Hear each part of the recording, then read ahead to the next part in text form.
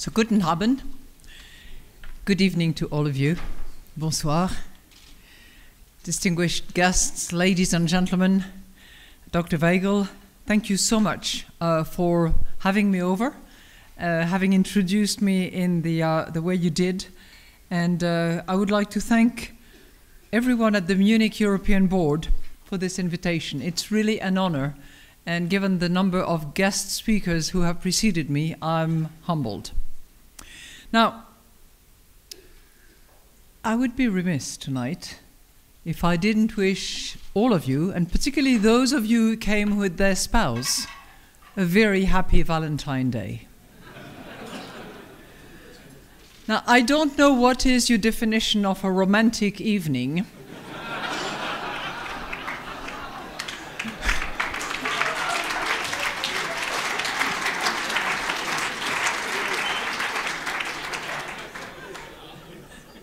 But I truly hope that you're looking forward to a good discussion on convergence within members of the European Union. If that doesn't match your definition of a romantic evening, you have a lot of common sense.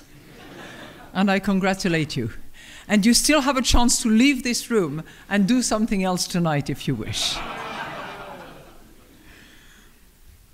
so, in the name of love, there is another celebration, actually, that I would like to mention at this point in time. Because we are celebrating this year the 30th anniversary of the fall of the Berlin Wall. And I wanted to ask you a question, which I will come back to at the end of my remarks. Was it a beginning? Was it an end? Was it a middle? Think about it. Think about it if you assume that a beginning is full of optimism. It's the promise of achieving something new. It's a bit like a, a newly born baby. A time when people are committed to make sure that the future is going to be greater than the past. It does ring a bell, doesn't it? Could have been the Berlin Wall fall. The ending. What's an ending? The ending could be the failure of a project when nobody can actually pick up the pieces. But it could also be when your work hopefully has succeeded. Endings can be a time when an idea suddenly becomes a reality. Could be the fall of the Berlin Wall as well. And what about the middle? Well, the middle, it's about work in progress. It involves effort, hard work, sacrifice.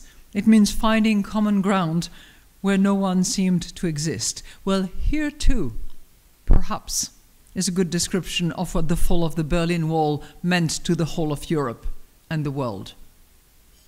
So let's keep that question in mind. And when I conclude tonight, I hope we'll have found out what the answer is. Now, I want to begin with the theme of this year's conference, as was rightly reminded by the Minister of Foreign Affairs of Liechtenstein Europe works. Because despite well known difficulties, Europe indeed has worked, worked, and works, much, much to the chagrin of some of the observers. And it is important to recognize success when there is success, and history actually matters because you do not plant cut flowers. Then, once we've done a little bit of that, looking at the success that we've had, I would like to look at the next chapter of Europe's story, where Europe works as well. The challenges the European Union faces today require a commitment to the spirit of multilateralism and unity that created the EU in the first place. And that is particularly true of the area that I want to focus on, which is restarting economic convergence. That's what I want to talk about. And I will try to touch on um, some of the topics that you've mentioned, but I think the economic convergence is one of the foundations from which countries, people, are actually satisfied that there is something in it for them and that, and that they have some control over their destiny. So, first, a little history. Close your eyes. Imagine that we are in 1949, as you rightly indicated.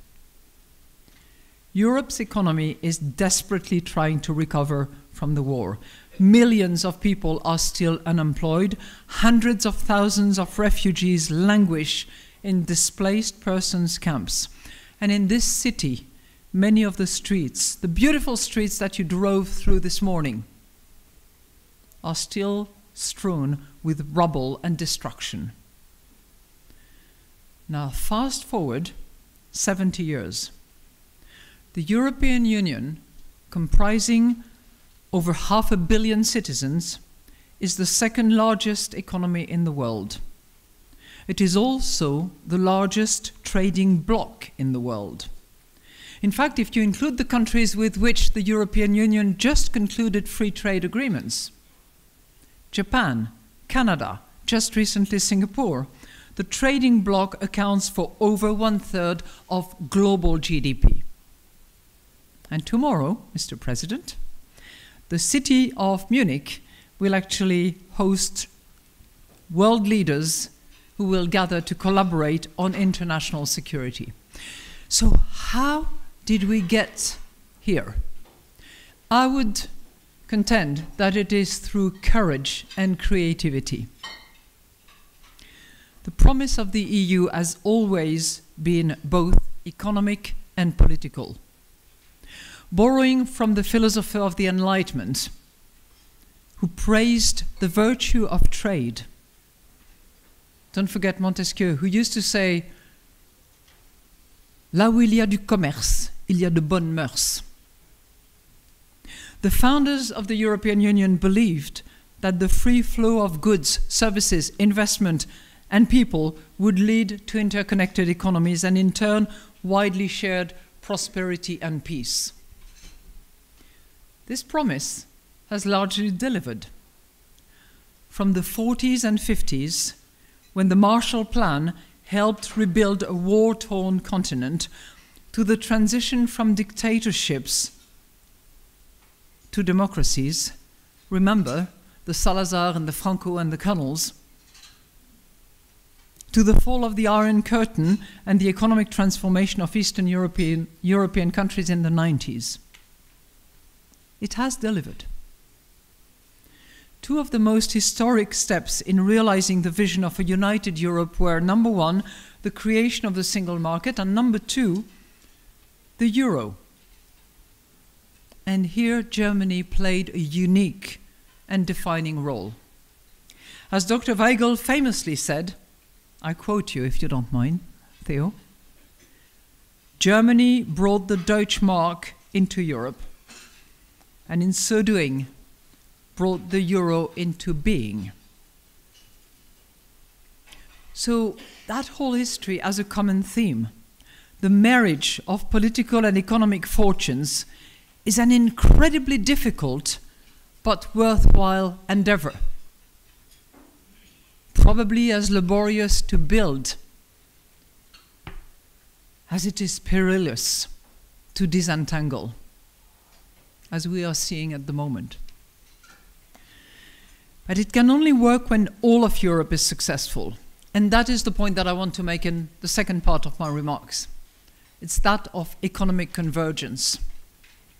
As obscure as that may sound, it's actually critical for the whole of Europe to succeed. Because if you had divergence as opposed to convergence, and if a group of the member states thrive while another group languish,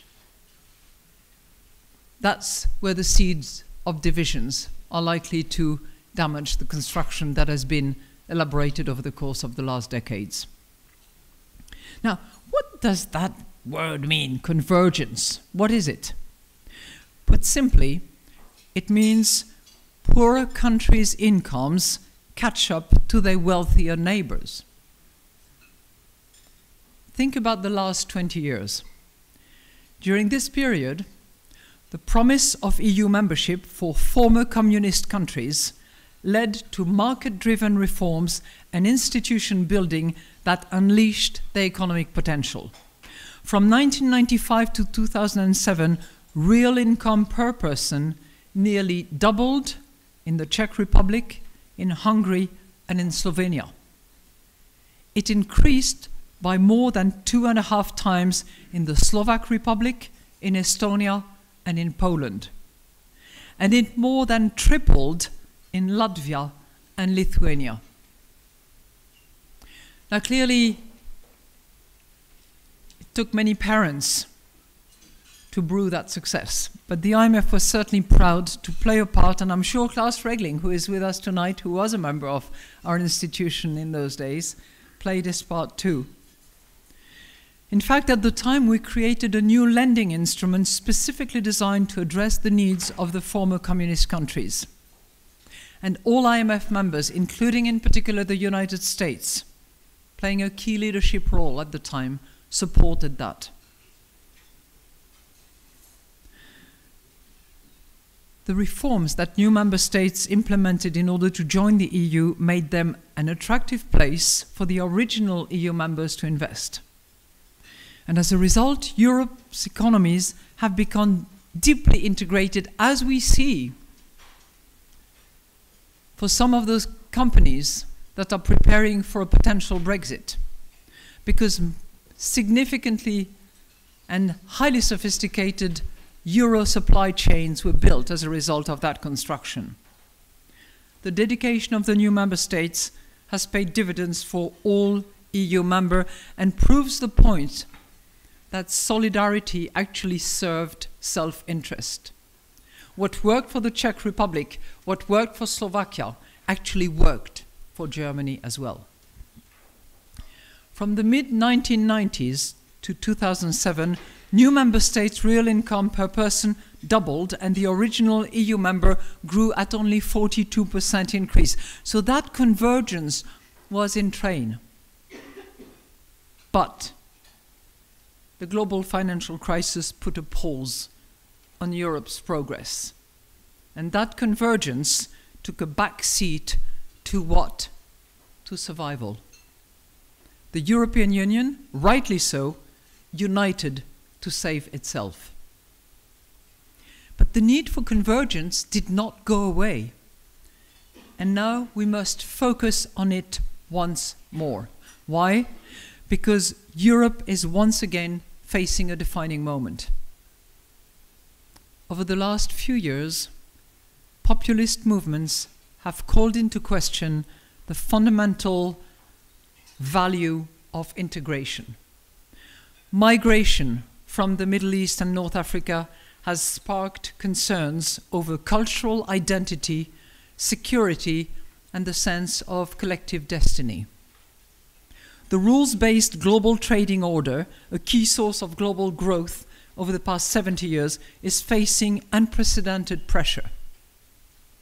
And the continent's next generation, which is still suffering from the economic war scars of the global financial crisis, is searching for quality jobs and a stable future. One in four young people in the European Union are now at risk of being in poverty. One out of four. Solving these challenges requires a renewed commitment to shared prosperity in Europe. And there are signs of that renewed momentum. If we want to see those signs, not if we're distracted by constant headlines.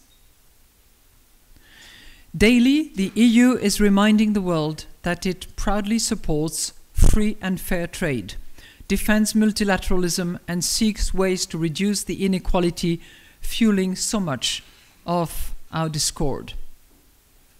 And it brings to mind the words of Chancellor Kohl, who said, We all need Europe, not just those of us in Europe. And right now, in a world that is questioning the value of international cooperation, the world needs Europe more than ever. But first of all, Europe needs to succeed at home.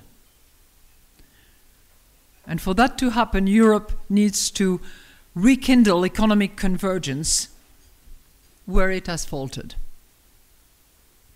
In contrast to the continued convergence of Central and Eastern European member states that has progressed and has brought those countries to good standards, convergence between Southern and Northern Euro area countries started to stall over the last 20 years, and since the crisis, the situation has only gotten worse.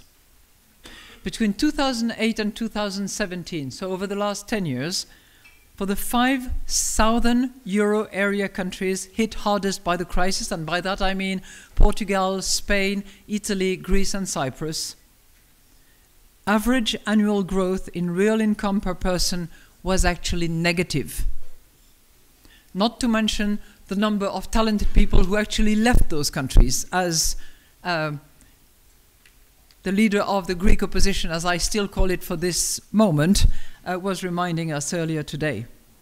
So our goal should be clear restarting convergence and ensuring that the fruits of economic growth are shared broadly across the EU.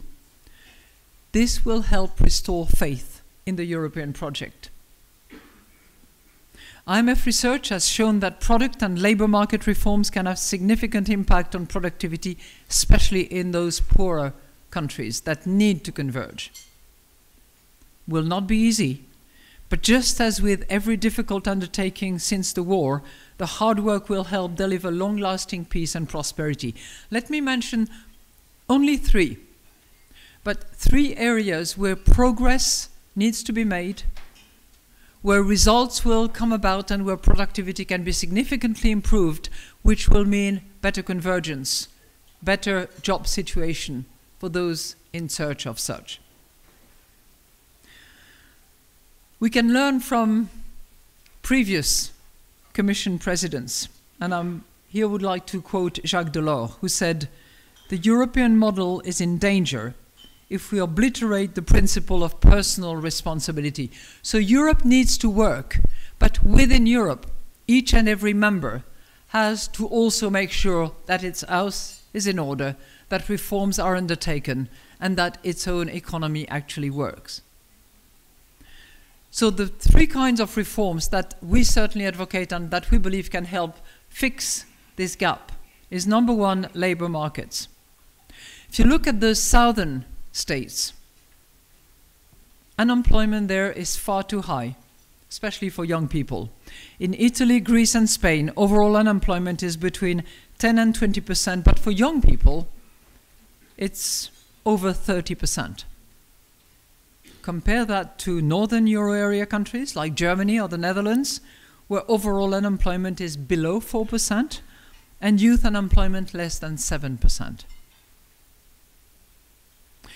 Now, you will say, what are the factors? Clearly, lack of investment in education and proper training plays a part. But we also believe that the issue of flexibility plays a significant part. Too many companies face undue burdens when it comes to contracting, to hiring and firing. And addressing these challenges can actually help unleash the potential of many of those young people. Let me give you one example of a country that has taken those measures and where it has clearly delivered. Portugal. So it's not a northern wealthy country, it's Portugal.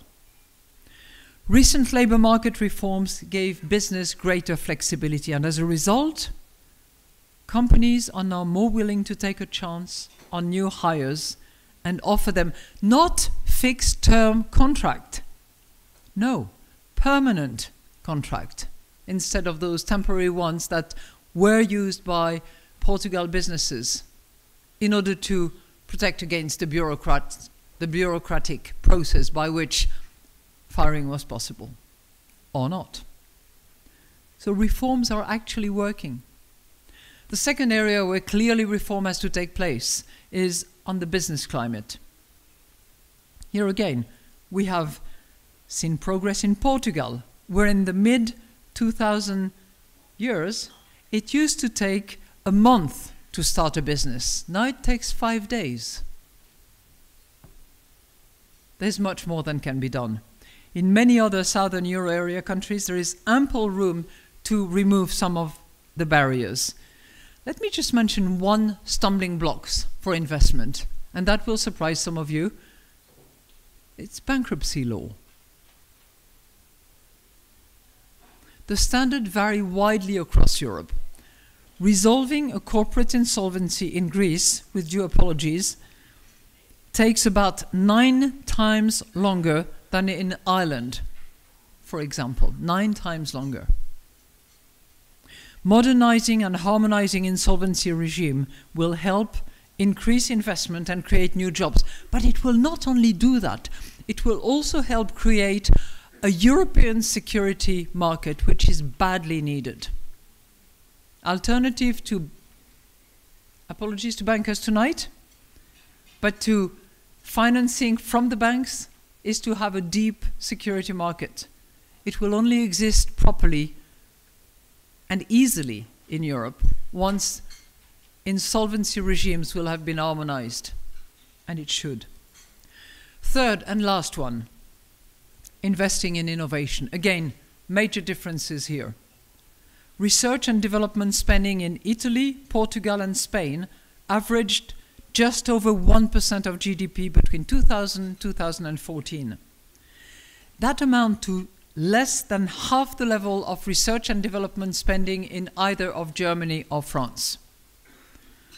So, boosting innovation is going to require a lot of reforms, including facilitating venture capital financing, improve, improving public private cooperation on research and development. But the impact can be significant. For example, in Italy, improving firms' access to financing for innovation and expanding public support for R&D could actually raise GDP by 5% over the long run. What does that mean for people? Well, it means an additional 2,000 euros per year in the average worker's real income in Italy. So I've just mentioned those three areas because we are certain that they actually work and they can deliver.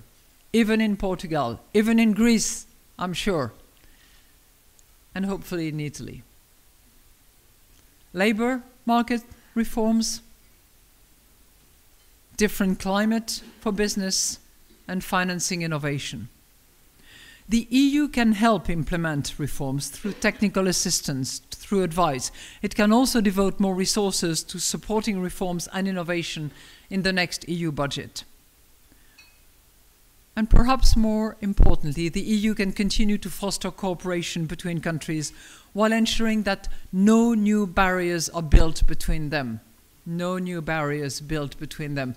We're seeing way too many barriers in the area of trades, which is a topic that we will be discussing in the next few days. But at least within the European Union, the Commission should be careful that no such barriers are built. And the whole discussion that is going on about competition rules within the EU is going to be a very good indicator of whether or not the European nations are prepared to actually consider those proposals of eradicating barriers. By building bonds of trust between member states, the EU can accelerate progress on a whole range of politically difficult undertakings. From a better European economic architecture, which is something that we have been advocating for quite a while, to meeting the crucial commitments of the Paris Climate Accord, to protecting individual rights to privacy, and to having ownership over personal data, or to facilitating compensation of the use of such personal data, as was just recently decided in Coreper yesterday. Europe can actually demonstrate that there is an other way, and one that is protecting of individuals, facilitating business across member states, and constituting a strong foothold of those principles and values that actually laid the ground for the constitution of the European Union 70 years ago. So let me now return by way of conclusion to my original question. Was the fall of the Berlin Wall a beginning, a middle, or an end? I would argue that it was all three. It was a time of new hope, culmination of 30 years of work, and it was also a challenge to rebuild. And I think the same is true in the Eurozone. And the same is true in Europe. It is a time that requires courage and creativity in the face of those new challenges that we're facing. The technological breakthroughs that operate both as opportunity and as threat. The cyber vulnerability that exists in many corners of Europe and beyond. The populism that we see and the massive migrations that we should expect. Tonight I've quoted uh, French Delors, German European leaders, and in the spirit of unity and with all due respect to the process that they're going through, unfortunately, I would like to quote Churchill. He was in, he was out, he was in, he was out, but he was strong, wasn't he? So he said, This is not the end, it is not even the beginning of the end, but it is perhaps the end of the beginning. If the European Union draws on its roots and finds a way forward towards shared prosperity, I believe that it will be solidarity that serves self interest. And I believe that when we look back at 2019, it will be the start of an optimistic new chapter in the European story. We might be darkened, we might be negative, we can be pessimist about what is coming up. But we should have the pride that the European founders had when they overcome many more decades of trouble, of war, of hatred, and decided to rebuild. This is not as bad now. So let's get on with it. Thank you.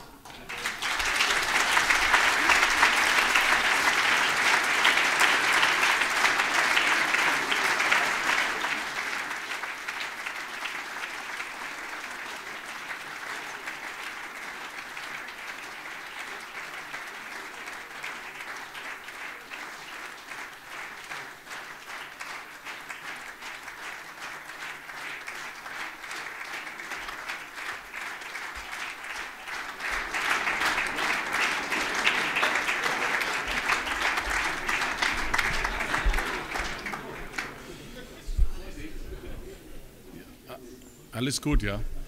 Ähm, meine sehr verehrten Damen und Herren, herzlichen Dank für diesen Valentinsvortrag. Ein kleines Geschenk. Ähm, Theo Weigel hat mich gezwungen, nein, gebeten, ein Geschenk äh, zu machen. Ich habe das gerne übernommen. Bayern und Frankreich hat eine ganz besondere Verbindung. Äh, Bayern hat sein Königstum erst damals bekommen, als er sich auf die Seite von Napoleon geschlagen hat.